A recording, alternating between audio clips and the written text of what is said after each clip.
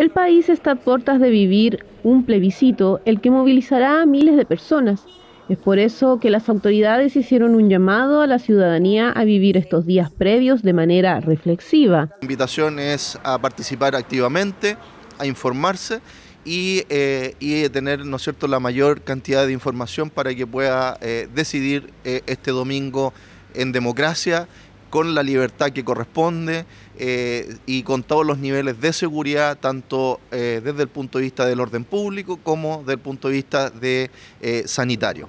Respecto al orden público, el GEDENA precisó que ya se está desplegando un contingente de uniformados militares en todos los colegios que funcionarán como locales de votación. En comparación con el resto de los locales de votación de otras regiones y del resto del país, tenemos un porcentaje efectivo que en, algunas, en algunos casos incluso duplica la cantidad de efectivo que otras regiones tienen en los locales de votación.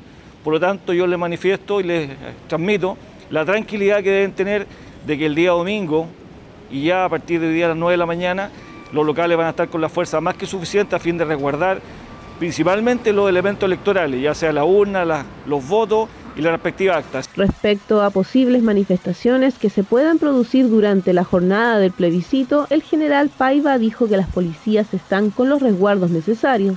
Carabineros y la PDI han tomado los resguardos necesarios, se están llevando a cabo los, protocolos que ustedes se pueden haber dado cuenta que son distintos de, otros periodos, en el sentido que primero hay un diálogo con la ciudadanía o con las personas que están manifestándose en forma violenta, porque cuando la manifestación es pacífica no hay ningún problema. Pero cuando la manifestación es violenta, produce destrozos, daño y alteración grave del orden público, hay protocolos que Carabineros ya está siguiendo. Tanto el intendente como el general hicieron el llamado a esperar el día del plebiscito tranquilos en casa, reflexionando y cuidándose del COVID-19.